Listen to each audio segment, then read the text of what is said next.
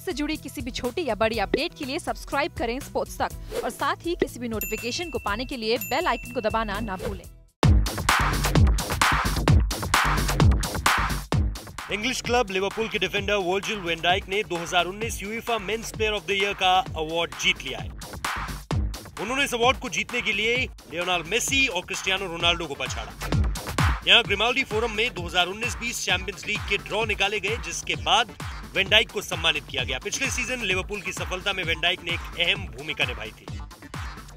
English club ने पिछले season champions league का खिताब जीता था, जबकि इंग्लिश प्रीमियर लीग में टीम सत्तानवे अंकों के साथ दूसरे पायदान पर रही थी। वेंडाइक 2011 में बने इस अवार्ड को जीतने वाले पहले डिफेंडर हैं। मेसी और रोनाल्डो ने पिछले आठ में से पाँच बार इस पुरस्कार को जीता है। बीते एक साल में लगातार वर्जिल वेंडाई का प्रदर्शन उन्हें इस खिताब का दावेदार बनाता रहा और इस साल नॉमिनेशन लिस्ट में नाम आते ही ये लगभग तय था कि वर्जिल वेंडाई के नाम ही ये खिताब होगा। ये जानते हुए भी कि उनके साथ साथ नॉमिनेशन लिस्ट में लियोनेल मेसी और क्रिस्टियानो रोनाल्डो का नाम भी है।